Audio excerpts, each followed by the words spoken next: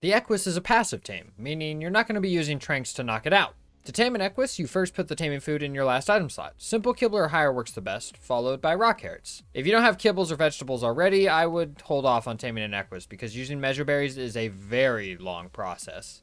The Equus is a bit of a difficult tame if you don't know how to approach the taming process. We're going to go over the easy way to tame one and the harder way to tame one. Luckily, the Equus is a relatively small creature, meaning it can be carried by most flyers. The Argy, Quetzal, and Wyverns are all capable of picking up and carrying the Equus.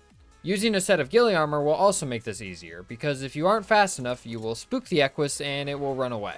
But I'm playing on Aberration, a map that doesn't allow flyers. Not to worry, there is another way to tame an Equus that doesn't involve flyers at all. This is the harder way I was referring to earlier. Because of how the Equus taming process works, it's best to get them into a trap of some kind first. I always have a large taming pen capable of holding any dino that can be carried at my totally epic base so that if I'm flying around and see something I want to tame, I can pick it up, take it home, and drop it in the pen. Flying around on the Flap, the fastest bird alive, I found a totally not spawned in max level Equus and decided to take it home to tame it. So I simply picked it up, flew it back, and dropped it in the pen back at the base. Once it's in the pen, the process is simple. Make sure the Equus is calm, so walking around like normal and not sprinting in circles like it's competing in the Equus 500. When it's calm, make sure you have the taming food in your last item slot, Go up to the Equus, feed it, and then mount it right away. Usually it will kick instantly, where you'll have to press the same button you pressed to mount it to feed it again. Then the Equus will run around chaotically trying to get you off of its back. Whenever it stops to kick, feed it again. Keep repeating the process until the Equus is tamed. If you fail to feed the Equus while it's kicking, you will fall off and the Equus will lose a lot of taming effectiveness.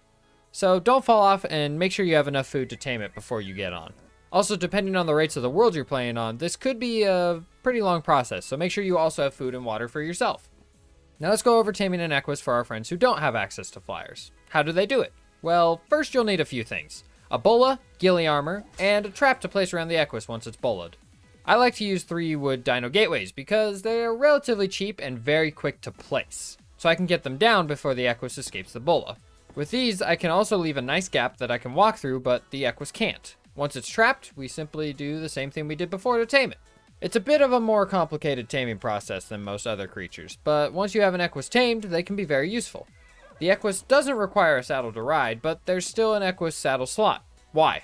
Well, the saddle provides armor, of course, and similar to the Argy saddle working as a smithy, the Equus saddle works as a mortar and pestle. Gives you the idea of doing a playthrough without ever actually building a base. Maybe I'll do that. The Equus is also the only creature in the game with a one-of-a-kind variant, the Unicorn. There's only ever one wild unicorn on a map at a time, so finding one is rare.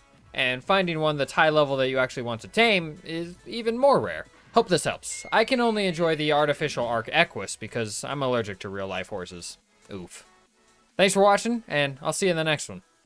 Deuces. Hey, hey, if you've lasted this long in the video, maybe you'd be interested in knowing that I also stream on Twitch. Some friends and I just started playing through Atlas over on stream. rotate it in my hand. Hold so right click so you look up. at it and spin. Oh.